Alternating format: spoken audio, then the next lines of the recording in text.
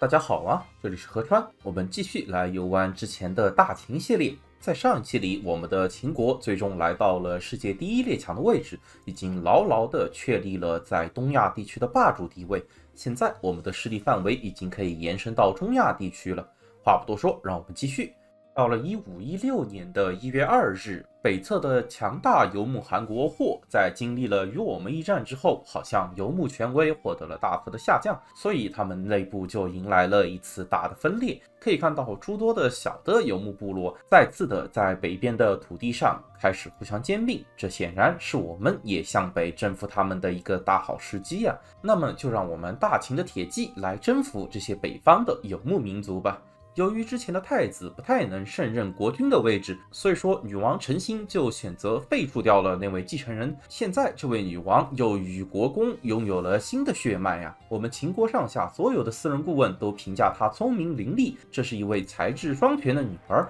名为陈明月，好像正有去夺取大明正统的意味啊。既然大明气数已尽，相信在我们的秦国公主未来的女皇陈明月的带领下。秦国才会成为真正的华夏之主。如之前所说，我们的秦国开始朝北部的诸多游牧部落发动进攻，现在已经吞并掉了两个小的游牧部落，并且已经拿下了叶尔羌，这样整个塔克拉玛干周围都已经成为了秦国的领土。塔克拉玛干也被我们宣称为了势力范围啊。并且在对外扩张当中，我们的领土数量显然也是获得了提升的，发展度也来到了一千点，所以说我们就成为了一个帝国等级的政府。目前的秦国已经可以算得上是大秦帝国了。可以看到，所有中华文化族已经全部被我们接纳。现在我们则要来接纳新的殖民主义思潮。这种来自于西方的先进思潮，似乎在我们的华夏土地上早就传播开来了。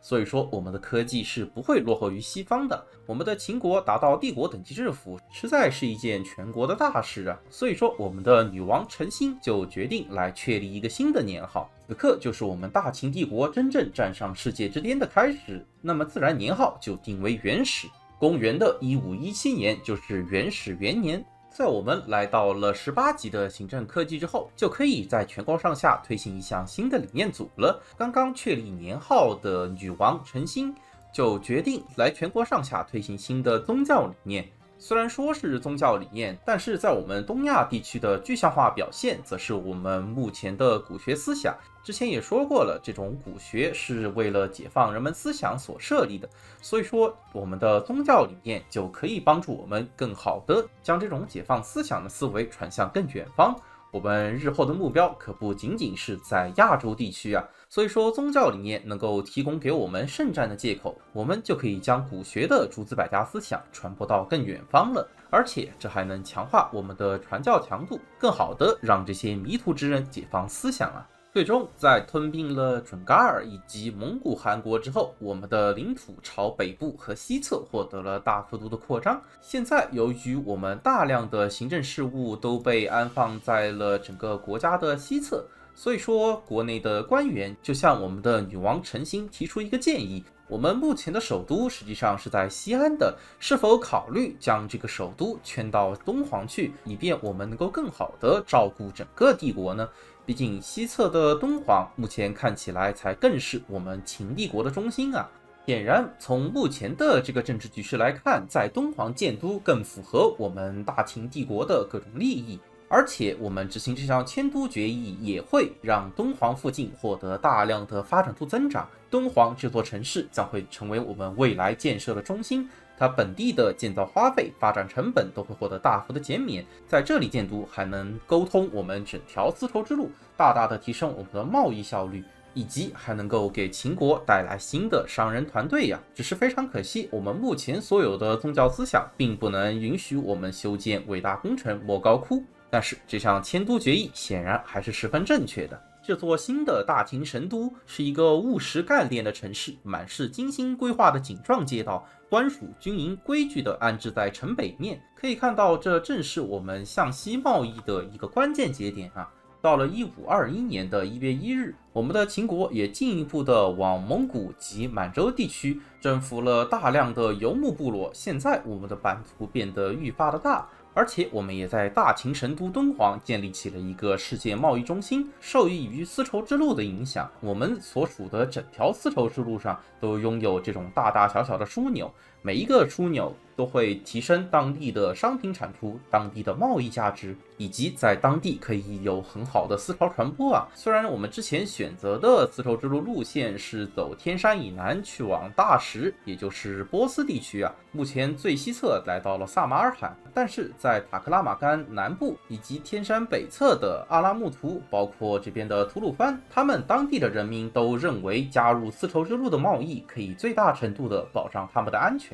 以及获取。更多的贸易利益呀，所以说在我们贸易的西侧就有这些大大小小的商人们，连带着这整个市镇不断的加入我们丝绸之路的贸易大家庭当中啊，这可谓是促进了多方的合作共赢和经济发展，实在是一件好事情。现在我们的部队已经扩编到了一百二十 K，除了有一支禁卫军要镇守我们的成都敦煌之外，我们剩下的九十 K 大军已经整装待发，准备对齐国宣战了。由于无法直接对大明宣战，所以说我们得先对齐国宣战。由于齐国的声誉在诸多诸侯中非常的差，所有国家都不愿意相信他，那么他对朝鲜的求援自然也不会得到任何的回复。就让我们对齐国宣战。我们开封的汉中军一路直取兖州，在北部的固原军一路直取天津，在宁武的兰州军可以直接去进攻齐国的附庸国代国，他们的王都大同也是长城的一部分啊，还是相对比较难围攻的。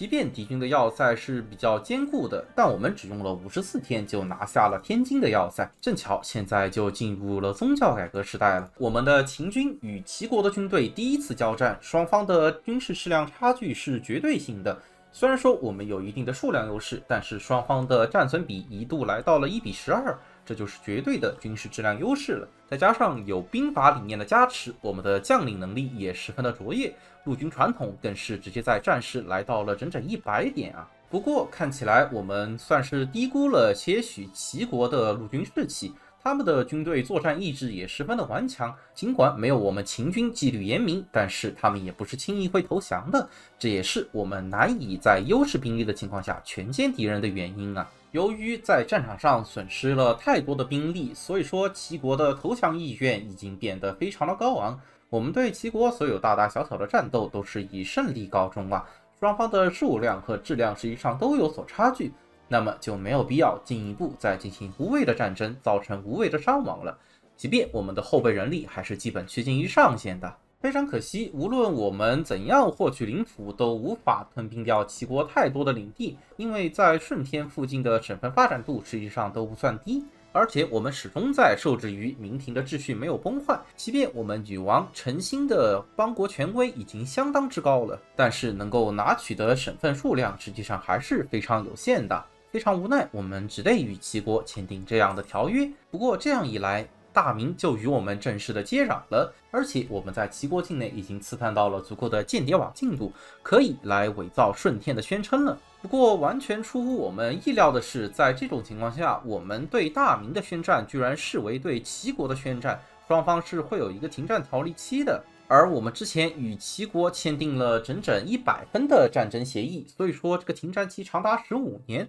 我们的秦国则要考虑在短暂休整之后，拥有足够的行政点，直接去破停战条例，来对大明宣战了。到了一五二五年的五月十三日，我们正在进行休整当中。没有想到，之前进一步带领秦军征战、开拓丝路的女王陈心，在四十多岁之时就去世了，实在是令人感到非常的悲痛啊！但新的女王陈明月上位之后，着手对国家政府进行了一系列的反腐改革，我们也可以来进行一轮新的政治理念选择了。之前是为了降低全国的叛乱度，而且有征兵需求，所以说着重的推行了法家的理念。现在由于我们接连要进行战争，所以说自然是选择一些军事的名家思想比较好啊。不过我们的陆军职业度已满，兵家显然不是非常的适用啊。陆军传统也是相当之高的，我们就来选择墨家，这可以大大的降低我们的陆军损耗。从侧面补充我们的人力以及我们的经济情况，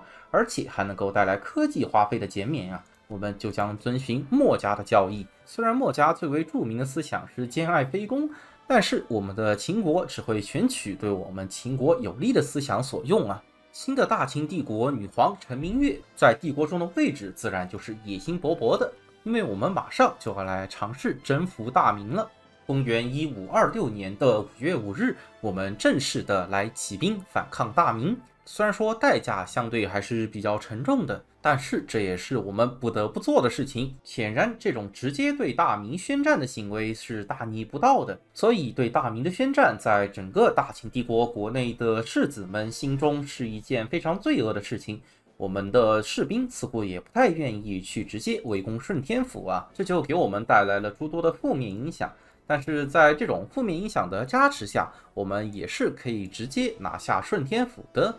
不过，对其他省份的征服基本就不现实了。当然，我们也只需要大明的首都顺天，因为只需要大明不存在，我们便能自己奉天承运，成为新的中华天子。到了一五二七年的十一月十一日，我们现在可以来与大明议和了。由于特殊的天子国形式，所以说我们无法单独的对大明宣战，只能通过这种方式来拿取顺天啊。那么在这一天，就让我们正式的来让明廷灭亡。夺取顺天，这样大明便不复存在了。虽然在这个原本的空想剧本下，北明的灭亡是一七零五年，但是在一五二七年，实际上明廷就已经灭亡了。此刻南方的吴国，他们自称为大明忠臣，选择匡复大明，因为明廷已经正式灭亡了，他们立刻就成立了大吴，好像要与我们的秦国争雄啊。不过双方的军事实力应该是有一定的差距的，我们也不必过多的担心。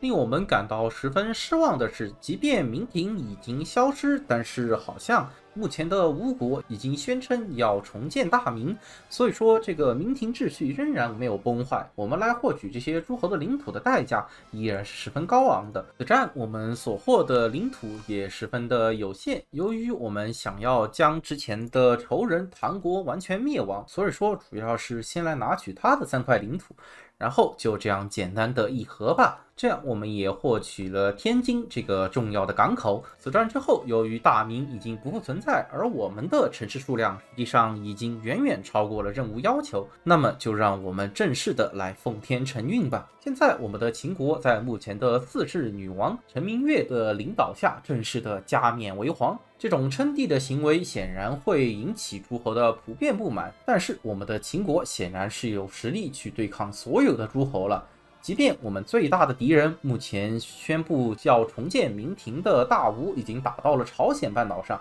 但是我们仍然是可以轻松的击败他们的。秦帝国将正式的宣称为大秦帝国，并且我们的国家理念将会进行新一步的革新啊！由于之前的理念组已经推行的相当之多了，所以说我们的所有国家理念都是可以在第一时间全部推行到整个大秦帝国的人民心中的。现在的大秦帝国使用的是陈秦的理念。显然，我们这已经是非常强盛的陈秦时代了。国家传统和野心能够带来大量的陆军损耗减免、训练度的增益以及行政效率的增益。不仅如此，我们在军事方面还拥有着强大的陆军士气、人力恢复速度增益、大量的国家兵员修正以及非常强力的我们的西北铁骑，直接能够给我们带来一点骑兵火力的增益啊！这种恐怖的增益可以保障我们的骑兵能够给敌人带来骇人的冲击杀伤，而且由于我们前任的几任秦国君主都在国内大兴水利、恢复农耕，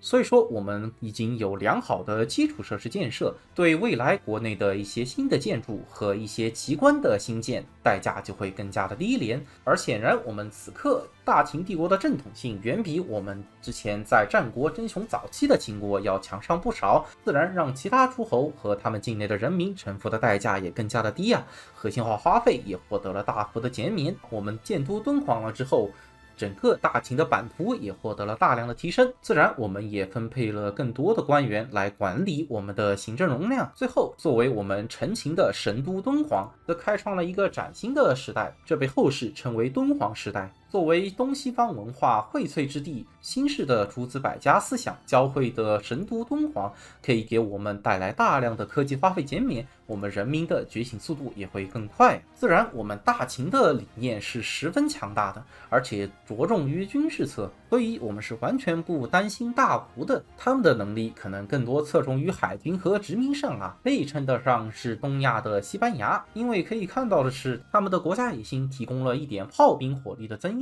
相信在专制主义时代或者是大革命时代，他们的军队会进一步的发光发热，但是在现在是远远无法跟我们的秦军铁骑所相比的。不过，明廷秩序仍存的情况下，想要快速的灭亡大吴是一件不现实的事情，我们还要另寻他法啊。在我们正式的建立大秦帝国之后，禹王陈明月准备来对国内的军事组织进行进一步的改革。我们准备来实行府兵制，因为我们秦国的王冠领地程度实际上是非常之高的，我们目前的中央集权程度已经远超了其他的华夏诸侯。那么这种征兵制度最好的好处就是能够带来额外的陆军士气，还有部队维护费的减免，因为府兵制实际上是兵农合一的。而且部队操练度的损失也会有一定的减免，我们就可以维护一支常设的强大的职业化军队。我们在休养期间又吞并了两个小的战国诸侯。由于北方的俄罗斯正在帮助我们整合一些游牧国家，所以说我们就可以暂时不往北征了。